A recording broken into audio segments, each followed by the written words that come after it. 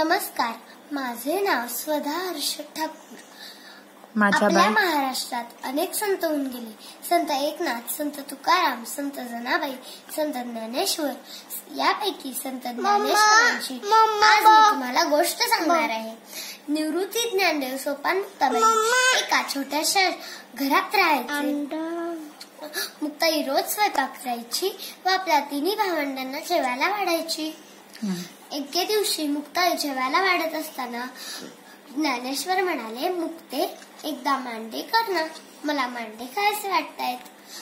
मुक्ताई म्हणाली अरे दादा मी नक्कीच करेन. तुला खावेसे वाटतात ना? मग मी नक्कीच करेन. पण मांडे करण्यासाठी मातीचं भांड लागतं. ते कुठं आहे आपल्याकडं?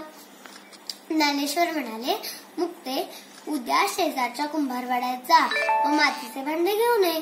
दुसऱ्या दिवशी मुक्ताई शेजारच्या कुंभारवाड्यात गेली व कुंभाराला म्हणली कुंभार दादा कुंभार दादा मला मातीचं भांड हवं आहे.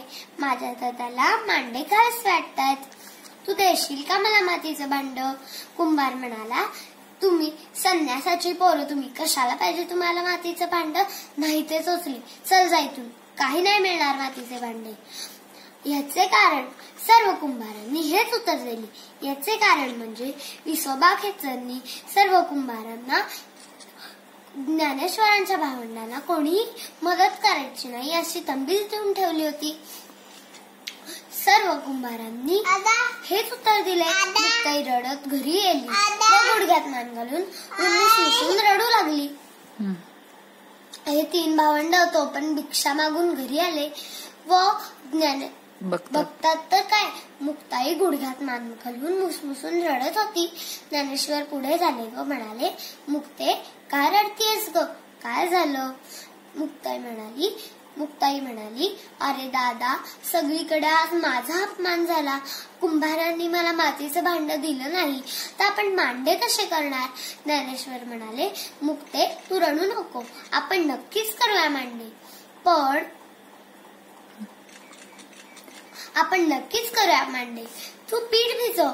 मुक्ताई म्हणाली अरे दादा मी पीठ भिजवीन पण मांडे भाजणार कशावर? ज्ञानेश्वर म्हणाले मुक्ते माझ्या पाठीवर भाज तू. तुझ्या पाठीवरती? हो हो माझ्या पाठीवरतीच भाज. ज्ञानेश्वर गुडघ्यावर ओंडवे बसले व त्यांच्या योग सामर्थ्यांनी त्यांची पाठ गरम केली.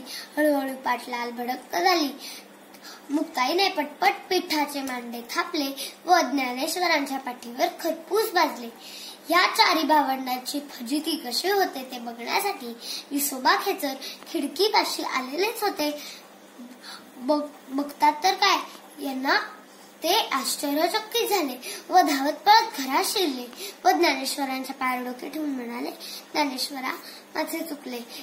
ज्ञानेश्वरांनी त्याला उठवले व आपल्या छातीशी धरले व म्हणाले विसोबा सर्व माणसे सारखीच असतात सर्वांशी प्रेमाने वागावे. असे होते ज्ञानेश्वर ज्ञानेश्वर माऊली. धन्यवाद.